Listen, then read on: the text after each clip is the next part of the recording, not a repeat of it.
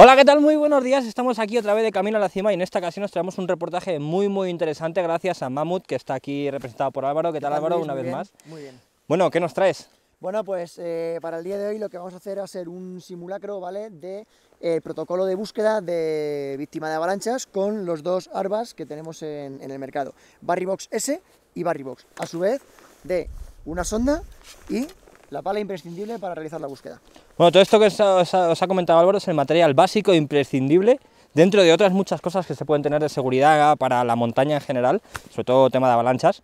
Eh, esto no quita, lo que vamos a hacer hoy es una introducción breve, básica, a la utilización, cómo se tiene que buscar, no quita a que lo más aconsejable es que todos los que querráis eh, tener eh, un conocimiento amplio de todos estos sistemas, os hagáis un curso sobre nivología, un curso de rescate en avalanchas y practicar. Efectivamente, lo más importante es una vez adquirido nuestro, nuestro Barrybox, leernos el, manual de instrucciones para conocer bien nuestro, nuestro ARBA y, como bien dice Luis, hacer una práctica en nieve con los demás ARBAs del, del grupo de, con el que solemos salir para saber cómo funcionan y identificar las señales que nos, que nos marca el, el ARBA una vez que localiza a una víctima y a un, y un ARBA enterrado. Bueno, una vez hemos presentado el material, eh, ¿qué es lo primero que tenemos que hacer? Nada más bajarnos del coche. Muy bien, Luis, por primero nada bajarse del coche que hay que hacer es verificar que todos los arbas están encendidos. Es muy importante que los Barrybox vayan lo más lejos posible de un teléfono móvil, el teléfono siempre tiene que estar en la mochila, ¿vale? Y es muy importante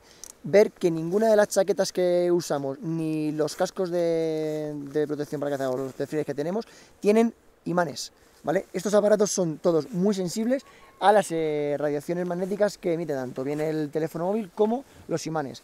Eh, influyen negativamente en la precisión del, del arma. Lo segundo que hay que hacer es, una vez que entramos en nieve, antes de comenzar la actividad, chequear con todos los compañeros que todos los armas funcionan. ¿Cómo lo hacemos?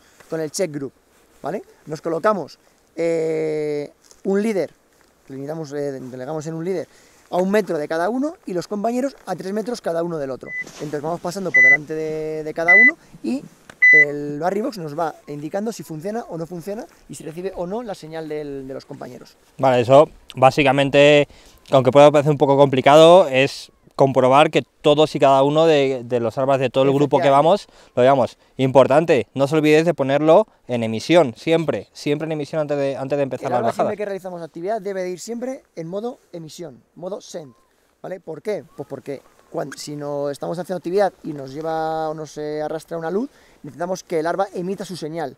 Y luego los rescatadores tienen que cambiar su arma a modo búsqueda, a modo search. Vale, todo esto que estáis pensando, que estamos planteando, pensar que eh, si tienes la mala suerte de tener que usarlo, es un momento de tensión. Sí, Hay que tener todo esto muy mecanizado, sobre todo a la hora de sacar los, los elementos y ahora os vamos a enseñar una práctica, sobre todo en terreno de cómo buscar y la forma de hacerlo, pero sobre todo, de verdad, practicarlo, no cuesta nada, como estamos nosotros aquí, nos vamos a un lado de la, de la montaña, escondemos el material y lo practicamos. Así que nada, vamos a ello. Venga, al lío.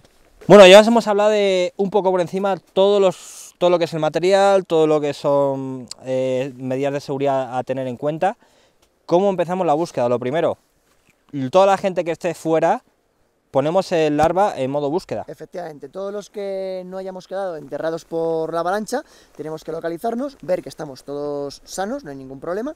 Y ahora, eh, como hemos hablado al principio de que se ha delegado en un líder, se ha nombrado un líder de grupo, si esa persona no es la que está enterrada en, la avalancha, es el que va a iniciar la búsqueda. ¿Cómo iniciamos la búsqueda? Todos los que estemos fuera de la avalancha, ponemos el Barrybox en modo búsqueda. Importantísimo, no puede quedar ninguno en modo, en modo enviar. ¿Por qué? Porque si no, ese arma que está en modo búsqueda localizaría el arma del compañero que está, que está bien, que está sano con nosotros. ¿Vale? Entonces, todos en modo búsqueda.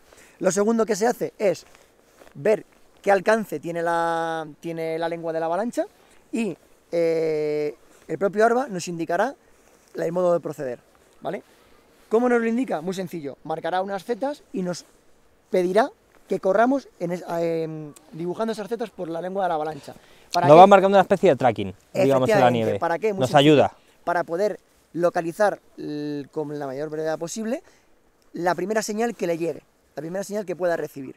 Una vez recepcionada esa señal, disminuimos la velocidad de búsqueda, ¿vale? Y ya vamos siguiendo las flechas que nos va indicando el Barrybox. Eh, como veréis, conforme nos vamos acercando, la velocidad eh, va menguando del, nuestra y el- la señal acústica se va intensificando, a la vez que va disminuyendo los metros a la, de la distancia a la que está... Todo esto, con el nuevo Arba de Mammoth, lo vais viendo en la pantalla. O sea, eh, se ha simplificado es muchísimo muy el- intuitivo la y muy búsqueda. sencillo de manejo, eh, de manejar. Lo bueno es que, además, como indicamos en el vídeo anterior, al haberse amplificado la- el radio de búsqueda, es más rápido en localizar esa emisión, esa señal que emite el arma de la víctima enterrada. Entonces, una vez llegada a la víctima, veréis que el arma nos va indicando que cada vez vamos más despacio y hay menor distancia a la víctima. Una vez que la localicemos, que nos marcará un metro o menos de un metro para llegar a la víctima, haremos un marcaje en el arma, ¿vale? De que hemos localizado a la víctima. Entonces, los compañeros tendrán que acercarse para empezar a sondear y en caso de que haya una o más víctimas, el Barry Box eh, al instante nos localiza la siguiente señal y nos indicará hacia dónde proseguir. Los compañeros se quedarán sondeando e intentando desenterrar a la víctima y nosotros continuaremos con la búsqueda. Igual, como hemos dicho que al menos hay que ser tres personas, lo, lo perfecto es ir un grupo grande, bueno pues se va buscando y cuando se localiza la siguiente víctima, marcamos. Eso es un poco el sentido que os comentaba antes Álvaro de tener un líder. O sea, el líder es el, digamos, que va principal localizando a la gente, encuentra al primero, pues el resto del equipo se encarga de sacar, mientras el líder sigue buscando al resto. O sea, digamos que el líder se encarga principalmente de localizar a las víctimas y el equipo de, de- de desenterrar. Eso es, porque al final cuando tenemos solamente una víctima, que sabemos que solo hay una persona enterrada, podemos ir todos a, a rescatarla. rescatarlo. Pero si tenemos dos, tres o más víctimas, no podemos ir como locos cada uno buscando una señal. Es importante mantener solamente un arma como, como líder para que sea ese el que nos marque la, la señal de las, de las víctimas enterradas. Y los compañeros, una vez marcada, nos quedamos a, a desenterrarlas. Bueno, ¿con qué te podemos terminar? Un consejo desde Mamut de seguridad y con la experiencia que tienes tú en la montaña. Lo más importante de todo es los días previos a hacer la actividad, revisar muy bien el parte meteorológico, ver el riesgo de aludes de la zona por la que vamos a salir y por supuesto, si vamos a hacer freeride, si vamos a hacer eh, esquí de travesía, siempre llevar el equipamiento eh, adecuado. Si hacemos freeride, aparte del arma, la pala y la sonda en la mochila, hay que llevar una mochila de airbag, Hmm. ¿vale? Para que en caso de que nos pille podamos explotar el airbag y eh, salgamos a la superficie de la, de la avalancha. Y bueno, en caso de hacer travesía, que siempre los equipos suelen ser más ligeros, no solemos llevar los airbags, bueno, pues llevar siempre todos los miembros del equipo, arma, pala y sonda. Es importantísimo, no sirve, no sirve de nada llevar un arma si no llevo pala. No se puede desenterrar ni localizar sin sonda ni, ni pala en un tiempo. mm, Dentro bueno, de los primeros 15 eh, minutos que se tiene establecido que el 90% de la gente que se encuentra dentro de los primeros 15 minutos sobrevive. Eso es.